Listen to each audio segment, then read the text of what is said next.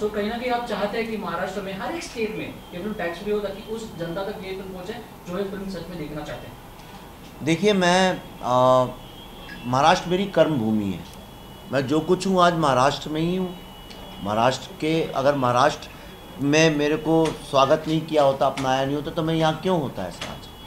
और बाकी सारी स्टेट्स इसको टैक्स फ्री कर रही हैं। छत्तीसगढ़ जो कांग्रेस की स्टेट है वो टैक्स फ्री कर रही है। आज पंजाब से भी कांग्रेस के जो लीडर्स हैं मेंबर ऑफ़ पार्लियामेंट, उनने भी बोली ये बात।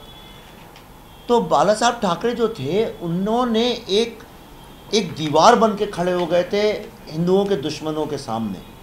और इसीलिए उन्होंने जब कश्मीर पे ये जेनोसाइड हुआ तो कश्मीरी हिंदुओं को सबसे पहले यहाँ पे शरण शब्द गलत है, पर उनको यहाँ पे आके पढ़ने एजुकेट होने के लिए एजुकेट होने के लिए देखिए उन्हें नहीं कहा नौकरी मैं तुम्हें कर रहा हूँ, पढ़ने के लिए उनने किया और वो कारण है कि आज सारे कश्मीरी हिंदू पुनर्स्थापित अपनी ज़िंदगी में हैं और वो लोग काफ़ी सक्सेसफुल तो मैं चाहता हूँ कि बाला साहब की आत्मा की शांति के लिए, उनके सम्मान, उनके गौरव के लिए उन उद्धव ठाकरे जी और उनके पोते आदित्य ठाकरे जी, इस पर विचार करें।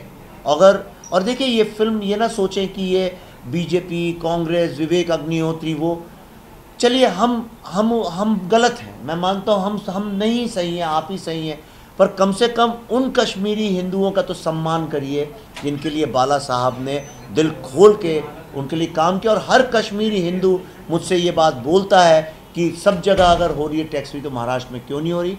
और उद्धव जी बड़े मैं, मैं पूरे आदर के साथ कहना चाहता हूँ जिस तरह से उद्धव जी ने कोविड में लोगों की सहायता की है बहुत अच्छा काम किया है और वो इसको भी ज़रूर बिज़ी होंगे उनकी कोई मजबूरी होगी उनको देर हो गई लेकिन वो ज़रूर इस पर विचार करेंगे और मुझे ऐसा लगता है कुछ एक दिन के अंदर अंदर वो इसको टैक्स फ्री ज़रूर करेंगे। देखकर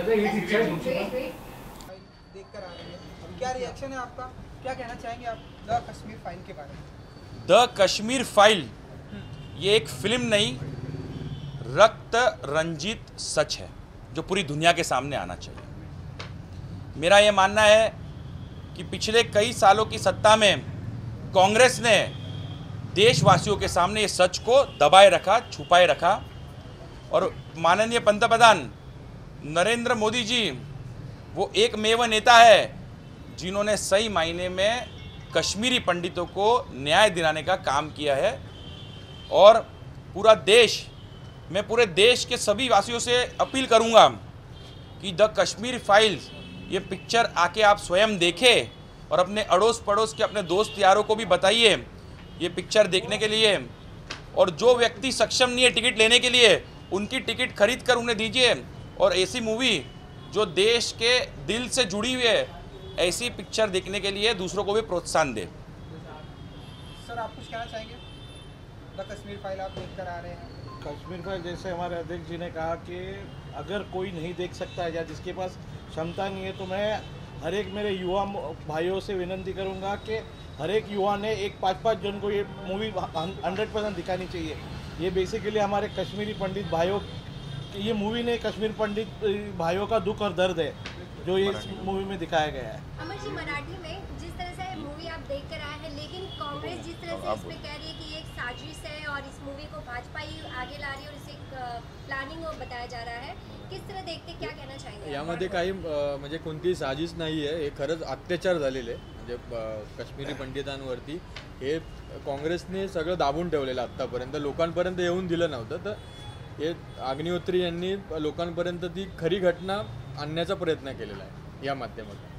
तेजिंदर जी इससे पहले नहीं लेकिन इसी मूवी के लिए आज आपने पूरा हॉल जिस तरह से मूवी का हॉल एक बुक किया क्या वजह रही कि ये मूवी आप हर किसी तक पहुँचा घर घर तक हर किसी को देखने के लिए आप यहाँ पर बुला रहे हैं? देखिए जो कश्मीरी पंडितों के साथ में जो हिंदुओं के साथ में उत्पीड़न हुआ था उसकी सच्चाई वो आज जो सच घटनाएँ लोगों को अपने जीवन में जो उन्हें भुगतनी पड़ी थी वो लोगों के समक्ष आई है। इसलिए हम सबको ये आज की जो ये मूवी हम देख रहे हैं, इसका जो इम्पोर्टेंस इतना ज़्यादा है तो हम हमारे साथियों को और भी हमारे दोस्तों को प्रोत्साहन करेंगे कि आप आइए और ये फ़िल्म देखिए तो देश का सच आपके सामने उजागर हो पंडितों का जो दर्द है जो उनपे उनके साथ जो कुछ हुआ वहाँ पर कश्मीर में किस तरह वो दर्द आपने फील किया और मूवी देखते टाइम आपने क्या कुछ उनकी दर्दों को कितना फील कर पाया और आपको लगता है कि जो हुआ था वो बहुत गलत था सही मायने में जो हुआ था, बहुत गलत हुआ था। ये सही मायने में जो कश्मीरी पंडित, जिनके परिवारजनों के साथ में हुआ है, वो ही ये ज़्यादा समझ सकते हैं। लेकिन आज ये पिक्चर देखते हुए हमने उनकी भावनाओं को समझा है, उनके दुख और दर्द को महसूस किया है। और सभी युवा, आप कितने भी अनेक सैकड़ों युवा जो हमारे साथ आए हैं, आप उनसे पूछ सकते हो कि आज जो सच्चाई उन्होंने देखी है, उससे उन्होंने कांग्रेस का काला रंग उन्होंने उनके सामने आया है। देश के जो गद्दार थे जिन्होंने एक तरफा निर्णय लिया है देश के अंदर वो उजागर हुआ है युवाओं के सामने। तो मूवी के माध्यम से पंडितों के दर्द को दर्शाने के लिए भाजपा ये लोगों को दिखा रही है या फिर कांग्रेस की नीतियों को दिखाने के लिए आपने जो भी कांग्रेस का नाम लिया एक कांग्रेस की विफलता है तो सबको पता है लेकिन सही मायने में हिंदू होने के नाते जो हमारे भाइयों के साथ जो हमारे बहनों के साथ उत्पीड़न हुआ था उसकी सच्ची कहानी सुननी थी सच्ची कहानी देखनी थी जो हम उस समय पैदा भी नहीं हुए थे कुछ युवा तो उनके सामने भी सच्चाई सामने आए ये बहुत ज़रूरी था इसलिए ये पिक्चर हम सब युवाओं को दिखा रहे हैं। बहुत जगहों पर बहुत सारे स्टेट में जिस तरह से टैक्स फ्री किया गया है तो आप किस तरह देखते हैं यहाँ भी टैक्स फ्री होना चाहिए फ़िल्म शर्म आनी चाहिए उद्धव ठाकरे जी की सरकार को कि जब बाला साहेब जी का उल्लेख ये पिक्चर में किया उन्होंने किस तरीके से कश्मीरी पंडितों की मदद की थी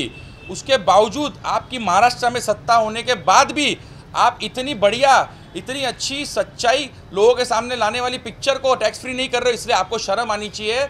और अगर उद्धव ठाकरे जी और उनकी सरकार ये पिक्चर को टैक्स फ्री नहीं करेगी तो हम सब युवा मिलकर रास्ते पे उतरकर आंदोलन करेंगे कि इस मूवी को टैक्स फ्री किया जाए। तो इसके बाद भी और कहीं पे इस तरह से आप और लोगों के लिए मूवी के लिए फ्री टिकट्स आप देंगे? अभी अगले कुछ दिनों के अंदर जो मालवनी में हिंदुओं के साथ में उत्पीड़न हुआ था वो सभी हिंदू इसी थिएटर में आकर पिक्चर देखने वाले हम सब उनके साथ में ये पिक्चर फिर से दोबारा देखेंगे। आपसे जानना चाहूँगे आपने इस फ़िल्म को देखा है कैसी आपको फ़िल्म लगी और किसके कैरेक्टर को आप ज़्यादा देखते हैं? कैरेक्टर में जो अपने किरदार है? इस फ़िल्म में अनुपम खेर जी ने जो कैरेक्टर किया है उस रोल से ये पता चलता है कि जिस वक्त कश्मीर में हिंदुओं पे अत्याचार हुआ उस वक्त भारत देश में कांग्रेस की सरकार थी वो सरकार हिंदुओं को संभालने के लिए निष्फल रही। ये निष्फलता इस फ़िल्म से पूरी भारत के सामने इस फ़िल्म से आ रही है। तो इस ये फ़िल्म भारत का हर देशवासी देखे यही हम युवा मोर्चे की तरफ़ से हमारा उद्दिष्ट है। अच्छा क्योंकि आप लोग फ़िल्म देख कर आ रहे हैं ढेरों सारे ब्रिलियंट कलाकार हैं इस फ़िल्म में। अनुपम खेर हैं मिथुन चक्रवर्ती जी हैं और भी कई सारे लोग हैं। उनकी एक्टिंग के बारे में आप लोग क्या कहेंगे जिस तरह से उन्होंने अपने किरदार को निभाया है। कोई बोल सकता है। आप बोलो देखा नहीं। देखिए जिस प्रकार से इस फ़िल्म में एक एज एन एक्टर उनका जो रोल है उससे ज़्यादा मैं उनके कैरेक्टर के रोल की तारीफ़ करना चाहूँगा। जिस प्रकार उन्होंने दर्शाया है जिस प्रकार से उन्होंने ऐसे इस प्रकार से उन्होंने स्वयं को दर्शाया जैसे उनके ऊपर ये सारी चीज़ें बीती हो। तो मेरा ऐसा मानना है कि शायद इनसे ज़्यादा बेटर और एक वर्सेटाइल परफॉर्मेंस इनसे ज़्यादा अच्छा कोई नहीं दे सकता।